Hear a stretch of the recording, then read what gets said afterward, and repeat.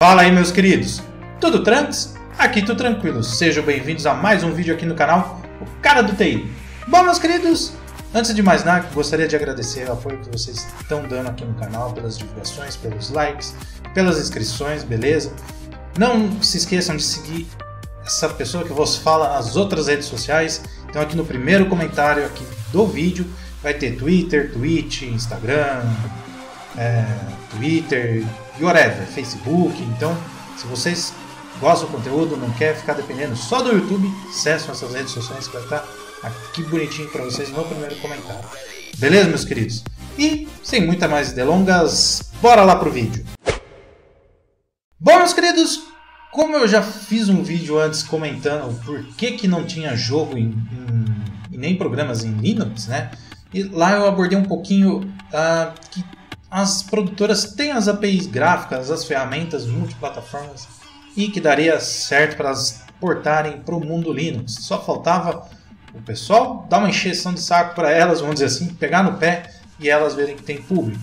E parece que isso realmente está dando certo. Então, uh, recentemente foi, uh, foi noticiado um puta jogaço, né, que é o Total War Saga Thrones of Britannia vai estar tá sendo portado para Linux também, né? Uh, outro que vai estar tá sendo portado, né, que foi que saiu hoje no, no, portal da Game on Linux, né, é um outro AAA muito foda, né, uh, que é o Total War Warhammer 2, mais um AAA vindo para Linux, né, então as, as produtoras estão dando essa oportunidade, vamos dizer assim, né, para Feral fazer esses ports, né, e também queria falar um outro ponto que eu levantei naquele vídeo eu vi que está começando a tomar forma. Né? O primeiro é um empacotamento. Né? Hoje, ou você instala os jogos via Steam, né? ou via GOG, né? que é um, um, um script, né? que é .sh, ou você baixa né? .deb ou .rpm de algumas outras lojas independentes. Só que isso está mudando, por quê? É, dois, é, um engenheiro e um outro uh, programador da Canonical fizeram uma, um port, né? Que até escrevi um texto ali no Linux, que é do Trackmania Nationals Forever via Snap. Então eles pegaram umas férias que eles tiveram, fizeram o, o port, né? E, e, a instalação ocorreu tudo bem, o pacote ficou muito bom, né? Uh, teve outro também que uh, outro projeto, né? Que está é, relacionado a esse tipo de pacote, que é via Flatpak, né? que é o WinePack, que é o quê?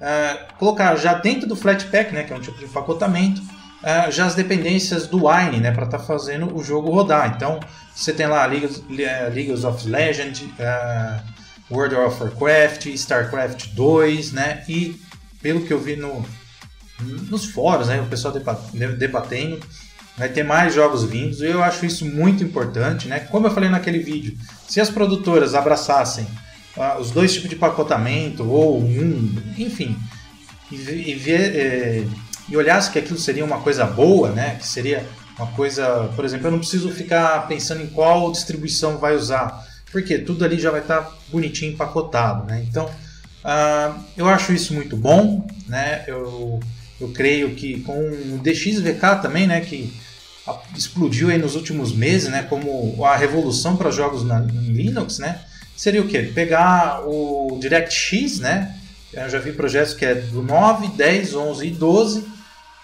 é, fazer uma comunicação com o Vulkan, né, que é um, uma API gráfica, dizer assim, sucessor ao OpenGL, né, e isso conseguiria fazer a comunicação. Então tem vários jogos, como, vou até dar exemplo aqui, eu vou estar abrindo na hora. Uh, por exemplo, uh, GTA V, Far Cry 5 já vi rodando, né? Uh, Battlefield 1 rodou no, nesse esquema DXVK. Uh, também o DXVK rodou o PES 2018, entendeu? Uh, e fora outros jogos, né? Por exemplo, Dirt 3, uh, Battlefield Bad Company 2, meu, tem vários jogos que tá rodando via DXVK, né? E mais um monte de jogos aí que eu tô vendo que tá rodando, né? Então vou deixar três canais aqui muito legais que fazem esse tipo de trabalho. Primeiro é o Tuxter Game, meu amigo Júnior, tá bom? Lá ele faz um trampo da hora. Ah, o outro é do Renato, do FastOS, beleza? Lá ele também faz uns vídeos desse naipe.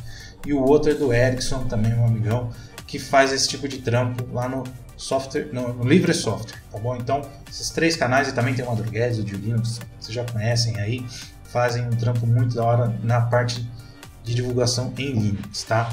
Então, o meu recadinho de hoje era esse, que eu estou muito, muito é, empolgado com essa, essas duas notícias. Pode ser bobas, né?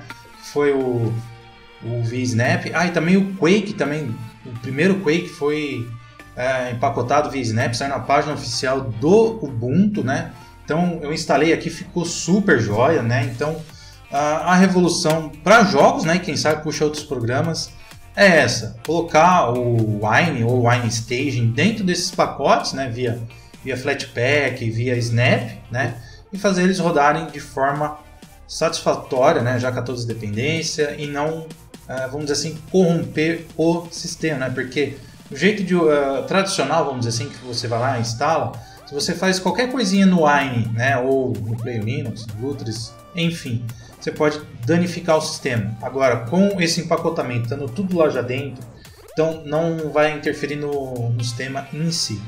Tá bom, meus queridos? Espero que tenham gostado desse vídeo. É mais um vlogzinho, uma, uma coisa que eu queria complementar o vídeo de lá, beleza?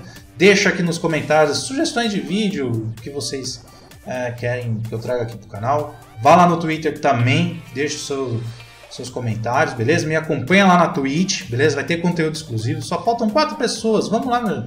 Vamos lá, negada. Não, não custa nada.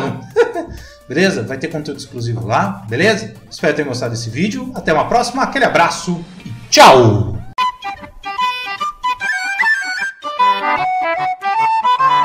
It's the dream. Bye.